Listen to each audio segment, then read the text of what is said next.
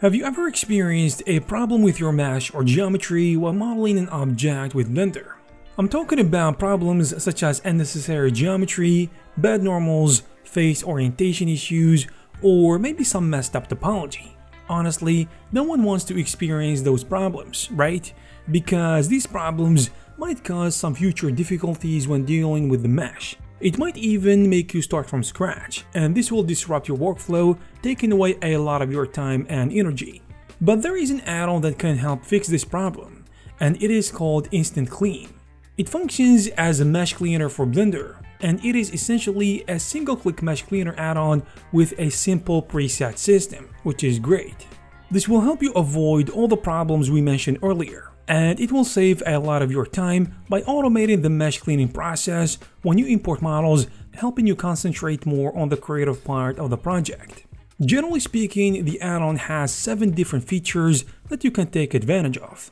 The first one combines all the features together, and it allows you to fix everything with your mesh and you can do this at once with just one click. The second feature is the preset system. Here you can save some presets depending on your needs and use them again whenever you need them.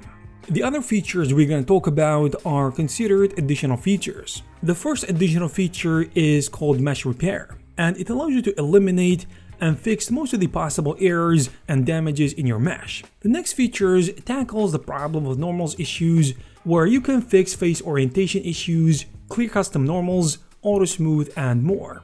Another cool feature is the geometry dissolve, and here you can get rid of all the unnecessary geometry that you don't need on your project, I mean your object, while keeping the same shape you first had, which means you'll be having a more clean and simpler geometry. The feature that I like most about this add-on is called Alter Topology. This feature is an absolute game changer because it can save you a ton of time.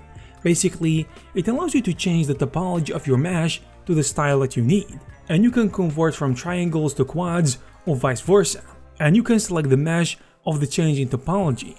The last feature is called Clean Object Data. This one enables you to get rid of unused material slots and empty vertex groups which will make your files more organized and cleaner. This will save you time of course and will ease up your workflow.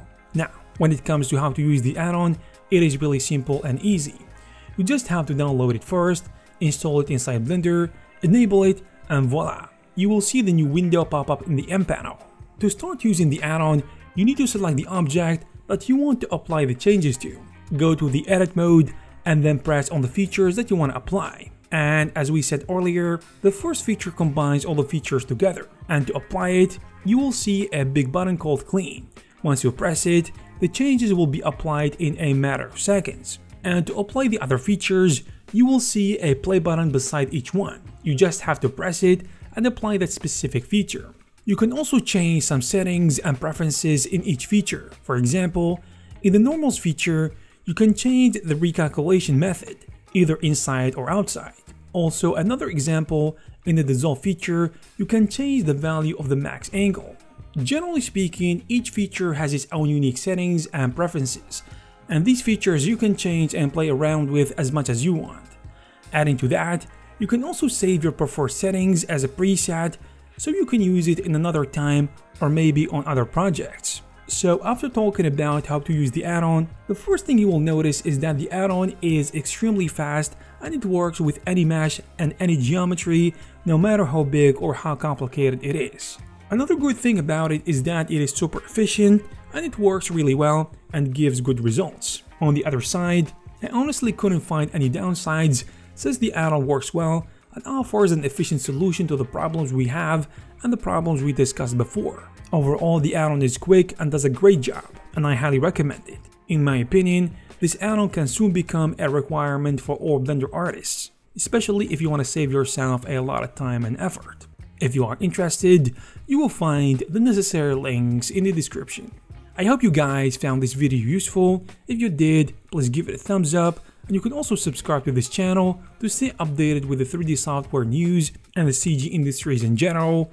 Thank you guys very much for watching and I will see you in the next one.